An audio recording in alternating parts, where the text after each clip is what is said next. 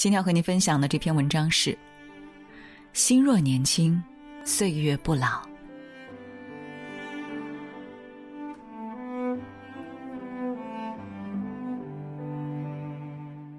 常常有人追问，什么是年轻？人过了多少岁便不再年轻了呢？有的人二十岁，生活刻板，没有追求，死气沉沉，尽显一副老态；有的人八十岁，天真烂漫，热爱生活，敢于追寻，洋溢青春活力。曾传颂全球的散文诗《青春》里有一段。青春不是桃面、单纯、柔细，而是深沉的意志、恢宏的想象、炙热的恋情。青春是生命的深泉在涌流。年轻不是年龄，而是一种心态。心若年轻，岁月不老。听过一种说法：童年万岁。童年只有几岁，真正能万岁的是童心。遇见过一些中年人、老年人，他们身上有一个共通之处，让人刮目相看。经历过风风雨雨的他们，眼神依然灼灼生辉，像未曾被污染过，眼睛里依旧闪烁着童真的好奇和清澈。你若可爱，生活哪里都可爱。此话出自丰子恺先生，他本人就是一位可爱、童心未泯的老人。他家里有一个贵重的古董挂钟，但是他嫌它太古板。有一天，他把古董挂钟拆了，用颜料把钟面涂成天蓝色，画上一丛绿柳，又剪了两只黑色的小燕子，糊在长短针的枝头上。就这样，一个古板的古董挂钟成了一个可爱的动物挂钟。年纪逐渐增长，却没能磨损半分丰子恺先生的那颗童心，在他的笔下记录了儿女的童心无邪。他爱创作儿童漫画，去描绘儿童的纯真烂漫，而他的读者也大都能从他的作品中清晰的感受到，他是一个既年轻又好玩的人。孟子说：“大人先生者，不失赤子之心。”童心和成熟并不相互排斥，真正有境界的人是在走向成熟的路上，不媚俗世故，而依然保有一颗童心。即便需要正视和承受人生的苦难，也保持着像孩子般纯洁的心灵，对世界怀有儿童般的兴致，思维神采飞扬，这正是青春活力的最好体现。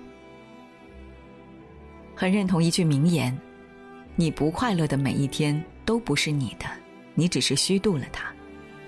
无论你怎么活，只要不快乐，你就没有生活过。”在生活中，经常能看到很多年轻人不苟言笑，毫无爱好，对生活食之无味。很难不给人一种印象，他们才是真正老了。现实版老顽童黄永玉。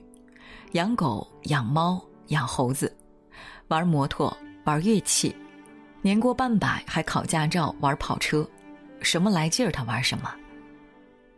八十三岁登上时尚杂志封面，叼着大烟斗，雅痞气十足，不见一丝老态。一次，白岩松上门拜访，黄永玉正叼着烟斗玩法拉利，白岩松一脸惊讶：“老爷子。”您一把年纪了还玩这个，不都是小年轻才飙车吗？黄永玉白了一眼：“我不是小年轻吗？您为什么这么喜欢玩啊？”